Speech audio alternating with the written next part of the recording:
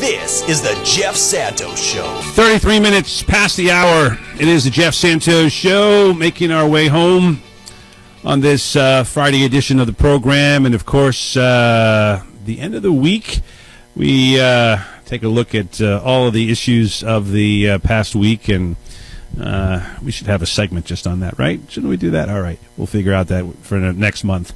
Um, our next guest comes to us from the great 206. So we went from New York City, uh, where Harvey Kaye is today, uh, and we go uh, up 95, then out to uh, via Boston 90, and take it all the way through Chicago and the Rocky Mountain West, and we go to the 206 in Seattle, WA, and we find our good friend, uh, Mr. Mark Taylor Canfield.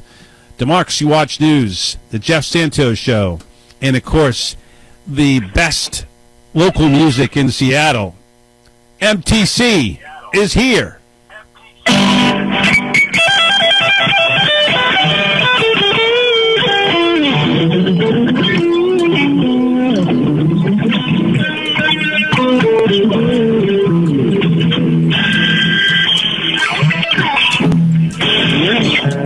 Your heart out, Jimmy. I got Jimmy right here. Actually, uh, I have a framed picture of him with a gold-plated 45 of his single or Hey Joe right here by Jimmy. And Jimmy actually has been one of my major influences. In fact, I've told the story before about how I had a dream where he taught me some guitar licks, no lie, on the streets of Seattle. Um, but uh, yeah, he was a big fan of Dylan, actually. So that's an interesting story in itself. Yeah, But- no, no doubt, no doubt. You know that that that time period, boy, 60s, 70s would would love to have been an adult uh, and uh, or a teenager uh, to to experience that. So much to talk about with you, Mark. Uh, you got a city attorney race going on there. A lot of trash talk. Uh, from the more Republican uh, running for city attorney, you got uh, lots going on with virtual reality and everything else. But I want to start off we've been talking about it, and you know, and it, frankly, it's been a lot of negative news because we go from six trillion in the budget reconciliation plan, as I call it, the Roosevelt plan, and then you go to three point five, which was the compromise. Now we're at one point seven. But thank God for Miss Jayapal, who you have told us about four, five, six years ago when she first ran, I believe, in 2016. And she's now the head of the Progressive Caucus and doing a fantastic job and standing tall against basically giving away the store to more and more corporate Democrats and and saying, "Come on, Nancy Pelosi, embarrassing if we we don't pass this this infrastructure giveaway to private companies and hedge fund companies." Uh, you said it. She is a, a true jewel, and uh, don't ever lose her. Yeah, well, you know, she had a town hall meeting just the other night that she invited me to, and it, once again, she is always uh, rallying the troops, the battle cry for the progressive causes, and she's right there with Bernie Sanders right now on this idea of extending Medicare to cover medical or cover dental and hearing aids and things like that, which is just you know stupid that it doesn't. Um, if you really want to end poverty, especially for uh, people who are elderly, but it's, I mean, it's been a crazy week. I heard some of your guests talk about that earlier today because, yeah, we had the Facebook, now called Meta Connect 2021 conference on augmented and virtual reality. I got interviewed by a Chicago TV station a couple times. There's a video podcast, podcast production sessions going on for Democracy Watch News now because now I'm proud to uh, announce as executive director for Democracy Watch News that we have a weekly video podcast now where you'll Awesome. um, featuring your intrepid reporter, MTC, and also um, uh, some other great journalists from across the country. Um, have a, a really good report on this next uh, podcast about the Connect 2021 conference and its potential for journalism. But yeah, I'm also I've got a major recording studio project, of course, while we're building the studio, and I've got band rehearsal and guest appearances on Thom Hartmann's show earlier today and stuff. So it's been a crazy time. But um, Pramila is somebody that I really appreciate. I, I've been trying to follow her through the, through all of this, and what I keep finding is that um, she's always at least sounding the right message, and that is something that she's very consistent about. And I think you know she has that in common with Bernie Sanders in some ways. Although Bernie has moved on certain issues, including Palestine, but there, but he he's been more consistent than almost any politician I know throughout my lifetime. You know, of knowing him since he was, uh, or knowing about him since he was the mayor of Burlington, Vermont. You know, which surprised to him, he didn't even think he was going to get elected. But ever since then, he has been definitely sounding the battle cry for progressive causes, and she's right there with him. And you know, I know there's this sort of tight relationship between these progressive Northwest uh, politicians and political political representatives, especially Pramila Jayapal.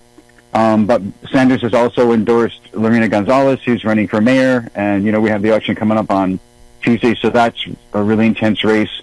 So the city attorney race, yeah. Oh, that's another. That's a whole other um, series of issues we could talk about, Jeff. Definitely, there's a battle uh, there going on. Normally in Seattle, it's the neoliberals versus the progressives. In this case, it's uh, a Republican, and actually, she is a Republican. Her name is Ann Davison, and she actually was a Democrat, um, but flipped just within the last year while Trump was president. Actually, which is just mind blowing. Um, but she had run for city council before as a Democrat, and so we've got her. We've got um, Nikita Oliver, who's very much left of center with the People's Party, running for city council, and Bernie Sanders keeps a pretty close eye on what's happening up here. And when he's in the Northwest, you can see just by watching him the relationship that he has with uh, political representatives like Pramila Jayapal, like Kshama Sawant, our uh, member of the uh, Socialist Alternative Party, who's um, on the city council here. He has a very tight relationship with them, and you can tell when when he's here and when they're together that they're very they're close. So he has been involved in city politics here because I think he sees Washington State and Seattle, especially, as a, a sort of bellwether region for the rest of the country, as you've you know pointed out many times before. The fifteen dollar an hour minimum wage, you know, marriage equality, legalization of cannabis. A lot of those issues have spread across the country, and when it comes to the city. Um, uh, attorney's race, uh, we have a very strange thing happening here that caught me by surprise. So, Pete uh, Holmes has been our city attorney for a long time. A, he was on his third term there, and a very popular guy for the most part, except with the police department and more conservative law and order types, because he dropped almost all of the convictions on cannabis uh, possession. He uh, pretty much tried to do away with a lot of uh, misdemeanor um, infractions and tried to do alternative sentencing and things like that. So very reformist kind of guy, especially when he first came into office.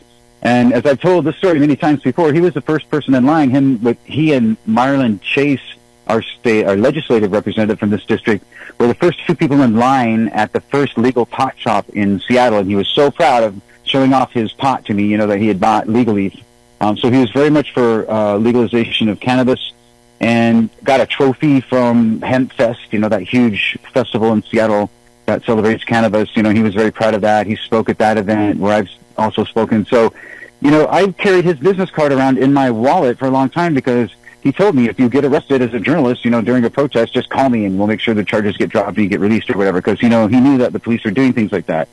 The cops, of course, don't like him. The police guild, I should say, doesn't like him. The Seattle Police Officers Guild.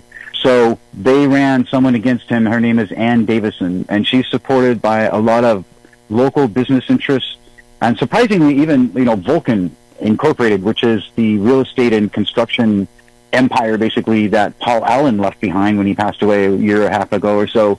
Um, he was a co-founder of Microsoft with Bill Gates, so local billionaire. And along with building the Museum of Pop Culture and the Paul Allen Brain Institute, he also used Vulcan as a way of changing the entire neighborhood before Amazon moved in. So between the Vulcan and Amazon, the entire downtown section in South Lake Union area of Seattle was totally redeveloped by these corporations. Well, they have um, funded a group called, uh, you know, Seattle for Common Sense or some ridiculous thing. They always choose, you know, some innocuous name, but they are a, group of conservative business interests and wealthy folks who do, do not like uh, Pete Holmes. So they were able to actually um, get their candidate through the primary, and Pete actually lost in a three-way race to somebody even more uh, liberal than he is, um, and that's um, Nicole Thomas Kennedy. Uh, so she made it through the primary, and Pete didn't, to everyone's surprise, including mine. You know, he got 30 some percent of the vote, but not enough to get through the primary. So uh, he was embarrassed, you know, and but that's what happens in politics sometimes, right? It was a surprise finish. So now we have a candidate who's being smeared by these uh, conservative business interests, and that's Nicole Thomas Kennedy. Uh, she's a public defender who was, you know, outraged by what she saw as police brutality uh, perpetrated against Black Lives Matter protesters last year when the police were using massive amounts of tear gas on the protesters. And she was really worried about her nine-year-old daughter and having to buy a gas mask and all that. So she tweeted out some pretty uh, vociferous uh, um, comments about the police department for sure during that time. Well, they've been used against her now. So now you have this conservative group of business interests that are sending out flyers, which I and I received one claiming that uh, she cheers violence against police officers. She endorses rioting. Yeah, yeah. Let, let, let me stop you there because I, I, I saw that when you sent it to me, and I'm like, here we go. This is right out of you know Republican playbook. Of course, she is a Republican, and Seattle's overwhelmingly Democratic and more progressive. So one thing to be Democratic, actually, but it's a progressive Jeff, uh, city. Jeff, she is actually now a Republican. She ran as a Democrat for city council last year, lost, then became a Republican. So she is a member of the GOP. So she, she, she actually went the other way. Oh my God. Yes. Yeah, exactly. Smart. But you know, in this case, they, they, and again, I know there's some evidence of um, of some statements that Miss um, Kennedy had made, but you know, I mean, it, it's gutter politics, and this is sort of what Republicans do has has she, um, uh, Miss Kennedy, come out and say, "Look, you know, there are some things that, that I said that I wish I didn't, uh, but look, this is what I want to do. You know, I'm not throwing away. Uh, we're not going to defund the police. We're not going to do X, Y, and Z."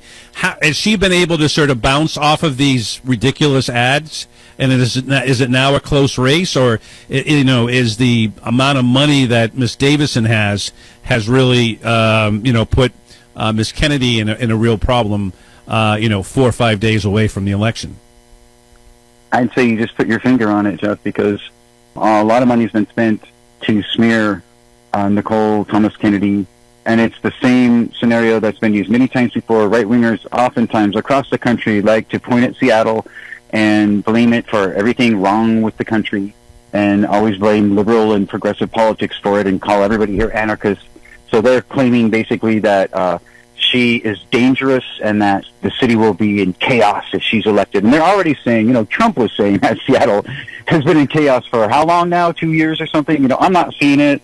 You know, there's no, there's no rioting going on on the streets here, but the, the right wing would like you to believe that because Seattle and Portland, especially San Francisco to some extent, are scapegoats for the conservative side of things. So it's negative propaganda. It's what is used, you know, in times of war to spread rumors about the enemy. So they're doing that in this campaign, and it's so sad to see that uh, she has not been able to bounce back in the polls. In fact, uh, leading up to the election, uh, her opponent is gaining. But there is a large undecided uh, portion of the vote, according to these um, polls. So it could change at the last minute. I don't know. But the trend right now, unfortunately, is that support is going towards the Republican candidate because they they have convinced enough of the voters that the Democrat is some crazy, dangerous radical, and it's really sad, Jeff, that it's gotten this mean and dirty in Seattle. And it's it, but it gives you an indication of what the Republicans would like to do. One, you have a Trojan horse. You have somebody who is a Democrat and works within the Democratic Party, but then switches at the last minute. That's one of their tactics. The other thing is that you have you have somebody in a position where they can at least deal with prosecutions. She actually is not going to be in charge of the police department. So whatever reforms happen in the police department are going to have to be between the mayor and the city council and the police. The city attorney does have some say so over things like whether they continue to follow the consent decree, which is a result of a Department of Justice investigation into the Seattle Police Department for racial profiling and excessive use of force. So there's an agreement amongst uh, the parties involved in that um, that the, city of Seattle will follow certain you know rules and reforms. Well, we'll see because if you have a city attorney that's willing to prosecute every you know protester that gets arrested and is very much in support of the police department, she can't decide who gets to be the police chief, but she can kind of uh, give officers a, a cover who may feel like they, they have less accountability now because they have somebody on their side in the city attorney's office, which is what they wanted. The police guild really did not like Pete Holmes at all. They wanted him gone. Um, they claimed that you know he wasn't prosecuting enough uh, of the people they were referring you to. You got to get those convictions. That's how we can put people in jail. We make money that way. I'm, I'm, and I know it's it's not as bad in, in a place like Seattle, but that's what has, is around the country. I mean, let's think of what happened in Ferguson. You know, all those parking tickets they gave out, people couldn't pay them. That gives uh, gives resource to arrest people because they didn't pay their their things, and before you know it, they're serving time in jail. Then they go and they end up with a misdemeanor. Then they spend another ten years in jail. It just all adds up. They love that stuff, uh, the right wing, and, and and it usually happens against people of color. Uh, tragic, tragic, tragic. Well, I hope she can win. I want to go to our good friend John uh, in Minneapolis, and, and, then I want to talk to you about Facebook changing their name. I just saw an ad, and they're bringing out all these white people, you know, and and and then a couple of people of color, and you know, we're all smiling, you know, and it says paid for by Facebook at the bottom of the uh, of the screen. You know, it's it's it's pathetic, but that's where we are. Uh, all right, let's go to John in uh, Minneapolis. Uh, you are uh, next with uh, Mark Taylor Canfield. Uh, go right ahead, John. Yes, uh, we have a, a, ballot initiative here that uh, I think it probably is going to pass that will reorganize the police department and has gotten support by our state attorney general and um, my congressman Ilhan Omar against uh, you know the objections of the mayor who would rather serve the police union. And this has been a perennial problem. And apparently uh, they actually wrote themselves into the city charter in 1960 uh, that uh, the police would be tied, how many police are hired is tied to population, regardless of whether they're actually needed. So we were really very, very uh, heavy in police we had more per capita than New York City. And uh, our mayor, Sharon Sayles Belton, she one have been maybe one of the first uh, black mayors in uh, the country. Uh, you know, was uh, very much uh, interested in reorganizing the police, and she was primaried out uh, by the uh, the DFL, the Democratic Farmer Labor Party, and uh, R.T. Rybak uh, was put in as uh, mayor, and you never heard from her ever again, even though she served two terms. So the police really, I, I think, throughout this country, they really.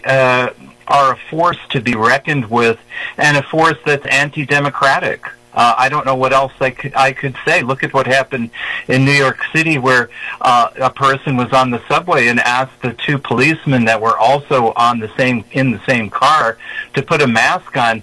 They were pulled out, and this was all caught on film. Pulled out of the subway car and thrown out, you know, before uh, their stop uh, you know. Uh, no, I mean it's it's without, awful. I saw that same video.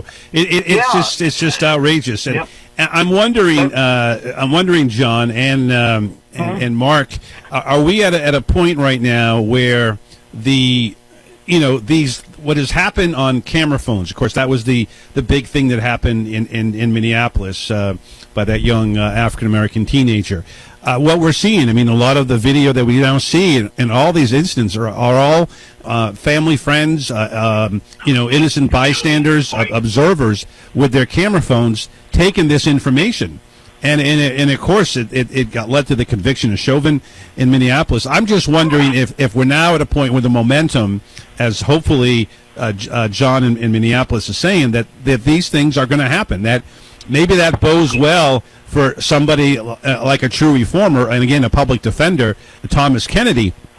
That to me would be uh, that would be a good sign. Well, we can only hope. Uh, the the trend in Seattle has always been that it's ironic that we have such a progressive city. Although I'd say you know keep a close eye on Minneapolis because they're they're sort of setting the standard right now for uh, for police reform. But um, in, the trend in Seattle has always been a rec- recalcitrant police force um, with usually a friend in the mayor's office uh, who may call themselves a liberal but tend to kind of uh, crack down and go law and order when it comes to protests. Then you have um, a business community that supports that point of view. It's also supported by at least one major corporate uh, news broadcasting corporation in Seattle, owned by Sinclair Broadcasting. So they they have make no bones about their political point of view, um, and it's always pro police and anti protester, and you know it kind of runs the gamut to you know to the the Glenn Becks and Rush Limbaughs of the world and stuff like that. So it gets kind of crazy. It's usually a small um, minority of the population, but when you own media and you have a lot of money and can uh, influence elections, you know, they're definitely going to try. And so that voice has always been represented in Seattle, and it it seems like it's part of Seattle's almost like polite nature that yes, of course, we'll let conservatives speak, and you know they'll have their their day in the sun. But actually, a lot of times it's just pure propaganda, and uh, it's not being challenged by the corporate media in the way it should. And I, I you know, so I'm worried that um, with a city attorney like that, and and if Bruce Harrell wins as our mayor, even though he's an African American man and you know has all sorts of experiences that you know white folks would never understand, he still is being backed by a lot of conservative business interests who feel like um, things like increasing corporate taxes is a bad idea. They think that cutting the police budget is a bad idea. You know, we're not even talking about even close to abolishing anything in in Seattle. And Seattle had some of the most active and most confrontational protests in the country. That you know, the amount of uh, so-called or I call less lethal weaponry that the police were using, the rubber bullets and things that I was subjected to, and other people, the tear gas. The amount of that was like a it was like small a small scale war going on here, and yet now we're back to the old same as same as neoliberal, um, mostly white male dominated culture. We do have female uh, representatives on the city council, in the mayor's office, and in Congress, but there are still a lot of the old boy network left over that ha- has backing from corporate folks, and they are not so progressive, and they have business interests, um, and they think they have to lose when you do things like raise the minimum wage. But but yeah, we should but we should talk about tech too, right? Because that's a yeah. No, I mean, I, I just think about, that yeah. of course Seattle is a big part of it, and of course uh, I know that uh, John uses Facebook. We all do. Uh, I, I use Twitter more, thankfully, actually, but um, I think it's the better platform. Uh, but you know, it, it, to me, it's you know, I think Rachel Maddow. I'll, I'll give her credit, and I, I, had thought about this before actually. Remember, a ValuJet in the 1990s that tragically uh, killed a whole slew of people, and they changed the name to AirTran, which still exists. And you know, they thought we could fool some people. Hey, you know, we're no longer ValuJet, and it's it's this now face Facebook be calling Meta. Um, you know, I mean, I, I, just look at this. It's just another another propaganda PR stunt. Um, you know, they are who they are. It's it's that simple, uh, Mark. Well, I have several impressions having uh, participated in their Connect 2021 conference as a journalist. First of all, uh, so the critic, the, my criticisms, you know, it was all pre-packaged, pre-produced. None of it was really live. Uh, it was just a corporate presentation. So you could tell that people were acting parts and you know reading lines, but they had something they wanted to promote, especially during Mark Zuckerman's keynote address. And it's this idea that uh, they are going to step away from Facebook as a parent company. Uh, they're going to keep Facebook as it is, as an app, as an application, basically, as a segment of what they do.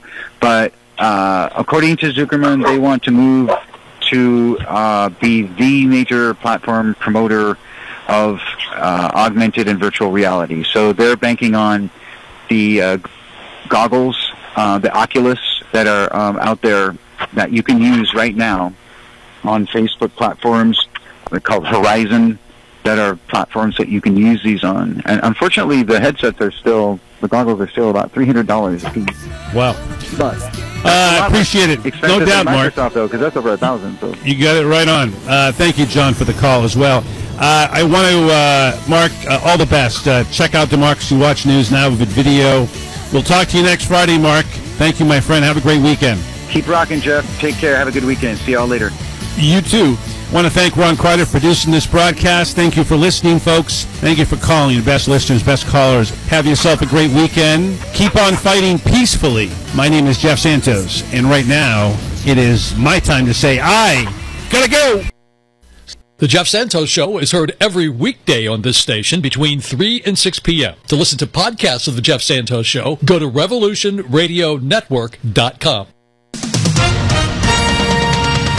With SRN News, I'm Keith Peters in Washington. Moderate Democrats Joe Manchin and Kyrsten Sinema are leaving their mark on the party. Bob Agnew reports. In the tug of war between leftists and moderates, Sinema and Manchin have managed not only to hold the line, but to move the president in their direction. What began as a $3.5 trillion proposal, the Build Back Better package has shrunk to roughly half its original size. It still gains no Republican support, but is much closer to securing approval from Manchin and Sinema, both now getting mixed reviews from Democrat colleagues. Majority Whip Dick Durbin describes the two as very influential in hammering out the compromise, and he adds, for better or worse. Bob Agnew reporting. Iowa's Republican governor has signed into law a bill that allows workers in the state to seek medical and religious exemptions from COVID-19 vaccine mandates. Correspondent Ben Thomas reports. Governor Kim Reynolds says no Iowan should lose their job over the vaccine. The new law also guarantees those who are fired for refusing a shot will qualify for unemployment benefits.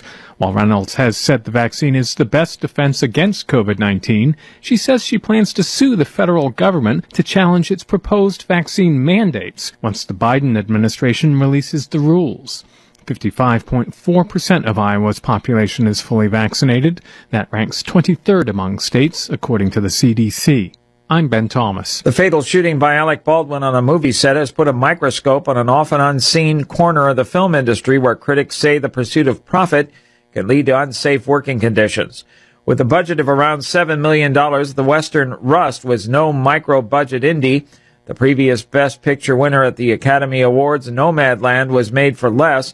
But the New Mexico set where Baldwin shot cinematographer Halyna Hutchins had inexperienced crew members, apparent safety lapses, and a serious labor dispute.